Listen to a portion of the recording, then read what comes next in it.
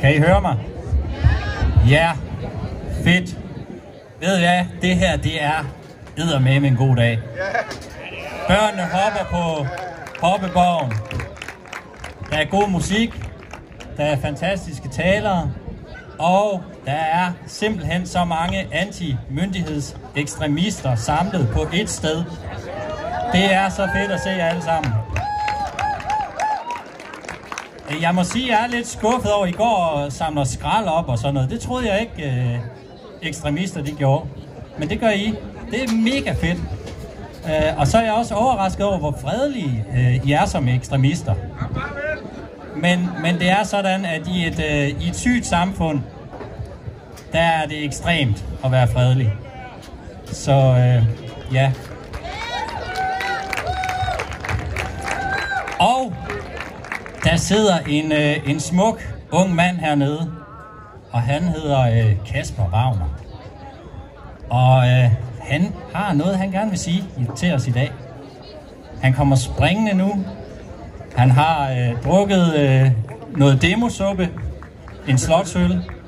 Øh, ja, du kan bare hoppe op der. Ah, du kan da godt kalde det der ja, for øl. Du, øh, du har gode ben. Ah, pas, ja. Oh, ja. Yes. Så, min dejlige ven, Kasper Wagner, han er klar nu. Når Kasper er klar, så er alle klar.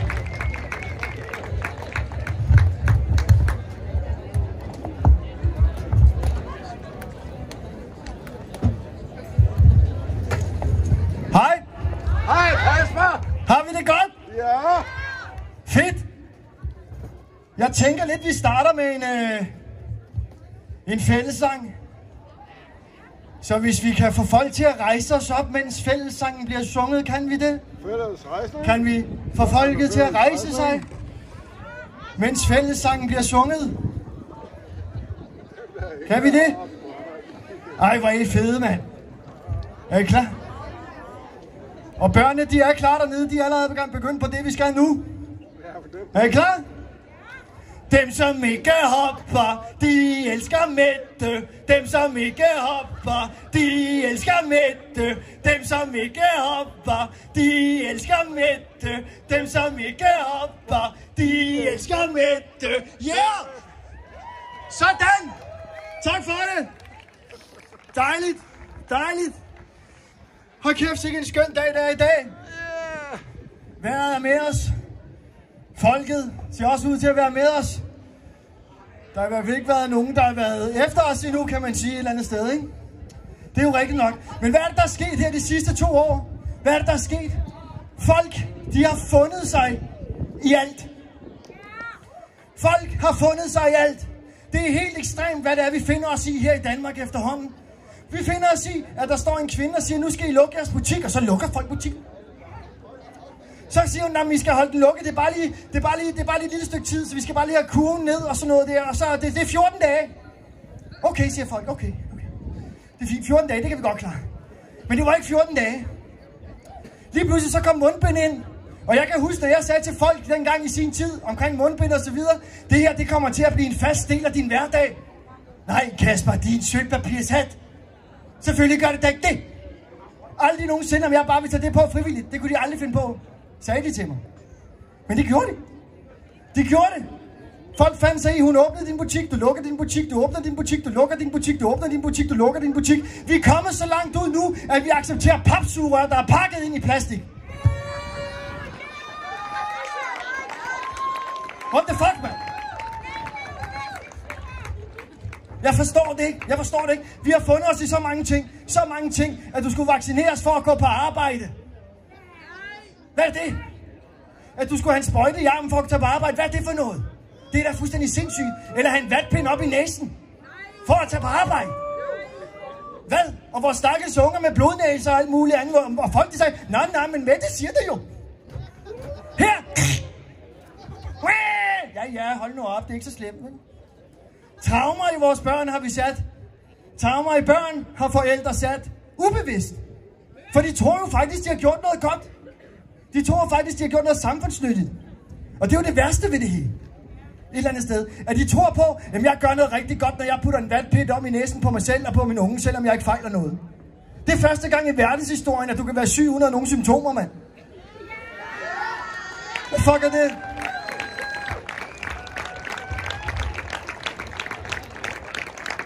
Men ved I hvad? Ved I hvad? Myndighederne, ikke? Åh, oh, det skal jeg passe på med at sige. Nu kommer jeg og bliver lagt i hånden der. Nej, og de kommer ikke i dag, så det så. Men myndighederne, ja, præcis, præcis. Myndighederne, myndighederne, de har et kæmpe, kæmpe forklaringsproblem. Det er helt sindssygt. For der, hvordan kan det være? Men nu skal de høre en gang første gang. Hvor mange her er vaccineret? Hvor mange her gik med mundbind? Hvorfor er I ikke døde? Hele bunden burde være døde, ikke? Det burde vi. De har et sindssygt forklaringsproblem, ikke? Hvad, hvad? Altså, og, og så Lundgren. Hej Lundgren. Du har lovet over for den danske befolkning. Du har narret dem, Du har ført dem bag lyset. Her er et ridderkors. Hvad er det? Det er fuldstændig Jan Mathias, mand. Jeg forstår det simpelthen ikke. Men noget af det, noget af det, som jeg virkelig, virkelig har undret mig over, det er, hvordan folk, de sådan kunne gå fra at gå og være sindssygt bange, hvor der var, lad os sige, 5 til 700 smittede i, i hele Danmark, altså ud af 5,8 millioner mennesker. Fuck man, der er 700 smittet. Det er helt vildt, det er forfærdeligt, det er forfærdeligt, det er forfærdeligt. Så kommer krigen, og vi, jeg står der, jamen i dag der er der 48.000 smittet. Ja, ja, det er lige meget, nu der er krig i Ukraine. Det skal vi se. Ja, det er fuldstændig lige meget med de der tal der. Det rager mig faktisk en skid. Ja, det er old news. Ja, og du har lyttet på fake news, din hat. Men det er helt utroligt, hvor stor magt medierne har over vores tankegang. Hvad vi skal føle, hvad vi skal tænke, hvad vi skal gå i, hvad vi skal spise, hvor vi skal hen på ferie, mand. Medierne har så stor magt over tankegangen på folken, at de ikke evner at tænke selv mere. Og det er det resultatet af nu, at vi ser, at folk vender ryggen til det, de lige har været udsat for. Og går over til krig. Og hvis I lægger mærke til det. Oh, nu skal jeg passe på. Nej, nu piver jeg, var. Hvis I, lægger, hvis I lægger mærke til fladet, der er det om bagved. Kan I se det? Ja. Det er nøjagtigt den samme strategi, de bruger nu som under corona. Konstant påvirkning. Konstant påvirkning, så du bliver ved med at have uro i sjæl og krop. Sådan, så du gør, hvad der bliver sagt.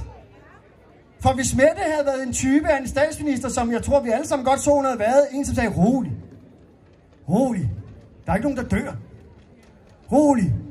Rolig. Hvis det var, at vi havde haft sådan en statsminister, som havde sagt det, og havde gjort det mod befolkningen, eller for befolkningen, så havde folk ikke gjort, som hun havde sagt, vel? For frie mennesker kan ikke styres. Vi kan ikke styres.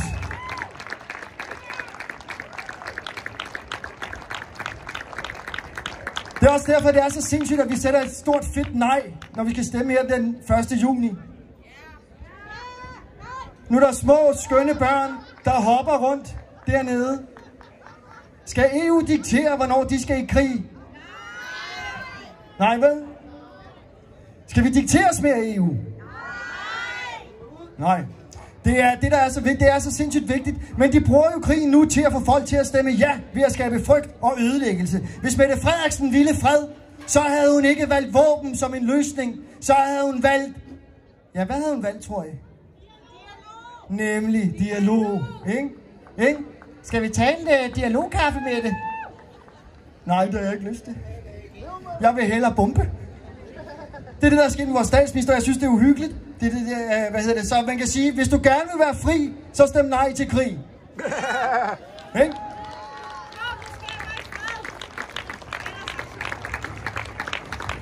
Og det får mig til at tænke på, det får mig til at tænke på i forhold til alt det her corona, og alt det, vi har været igennem, og alle sådan nogle ting. Der. Nu står jeg her, jeg har sådan en frihedsliste bluse på, som jeg har set, der er flere, der går rundt i her nu. Der er ingen af os, der skal være politikere. Jeg skal i hvert fald ikke. Men vi vil gerne derinde og afsløre, hvad der foregår bag linjerne. Og vi vil gerne ind og se, hvad det er, de laver derinde. Og afsløre det, så folket kan blive bevidste.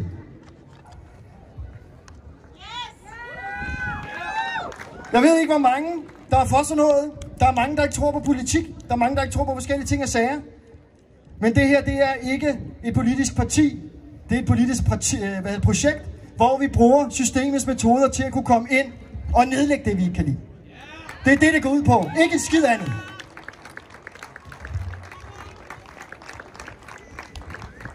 Og det er jeg faktisk meget stolt af at være medlem. Ja. Jeg skal lige se her. Jeg glemte noget sidst, tror jeg. Jo, det var fordi, jeg lige kom over på det der. Øh, hvad er det for et samfund, vi gerne vil have? For når vi kigger på det samfund, vi har skabt for os selv, det samfund, vi har skabt i dag. Hvis du er en helt almindelig børnefamilie, helt almindelig børnefamilie, 8-16 forældre, så starter den sådan her dagen. Vi står op om morgenen. Hvis vi er heldige, så har vi en time sammen med vores børn, før vi skal afsted mod en daginstitution, hvor vi placerer vores børn og betaler for, at de er der i 8-10 timer. Så skal, vi så, øh, så skal vi så selv afsted videre mod et arbejde, som de fleste, de fleste ikke har interesse for, men de skal gøre det, fordi penge er menneskets største afhængighed. Det er ikke cigaretter, det er ikke slik, det er ikke MACD, det er penge. Penge er nødvendighed for mennesket, for uden dem er du fuck. Så smart har de indrettet det, ikke? Ja, nå. Men så skal de så afsted mod et arbejde, hvor de så spilder tiden i 8-10 timer. De er trætte, de er færdige, fordi det er sådan, det sker med din krop, øh, når du beskæftiger dig med noget, du ikke rigtig gider. Så kører du hjem igen. Du tager forbi daginstitutionen. Går ind og henter et lidt træt, måske klømte barn. Det har været en lang dag, 8-10 timer. Du tager barnet med ud, ind i Volvoen. Kom, nu kører vi hjem af. På vej hjem, så er der en, der ringer til dig og siger, ja, vi mangler havregryn og bananer. Pis, mand. Fuck, mand. Ind i Føtex. Tager den stakkels unge ud. Slæber den igennem Føtex. Står i kassen i 20 minutter. For at komme ud igen med havregryn og bananer. Ud i Volvoen. Bang, ind med dig. Vi kører hjem af. Vi kommer hjem, bang, døren bliver sparket ind, vi er inden for døren. Aftensmaden skal jo laves, så børn de bliver lige passiviseret med en iPad, ikke? Yes, så bliver aftensmaden lavet. Den bliver lavet, mens der spilles iPad. Så skal der spises. Så skal vi spise. Så spiser vi alle sammen, sammen og hygger os rigtig meget. Efter vi har spist, så har vi en til to timer før, at vores børn skal i seng. Og sådan kører det så dag efter dag, efter dag, efter dag, efter dag. Så er det weekend. Yay! Dag efter dag efter dag. Uden der er nogen, der siger noget. Og hvorfor er der ikke nogen, der siger noget? For det har du ikke overskud til, når du beskæftiger dig med ligegyldige ting, som ikke giver dig noget i krop og sjæl hver eneste dag. Derfor kører vi i hamsterhjulet. Derfor er frihedslisten skabt. For vi skal væk fra det med rush. Og vi skal ud af EU. Helt ud. Helt ud. Der var en her, der fortalte mig den anden dag, at der var lavet et studie i Uppsala, Uppsala hvor at øh, hvis vi genindførte Kalmarunionen, eller en skandinavisk union, som vi havde for mange, mange hundrede år siden, mellem Sverige, Norge, Finland og Danmark, Island tror jeg også var med, så ville vi blive verdens femte største økonomi. Femte største. Det taler jeg meget mere for, end de europæiske forenede stater. 100 procent.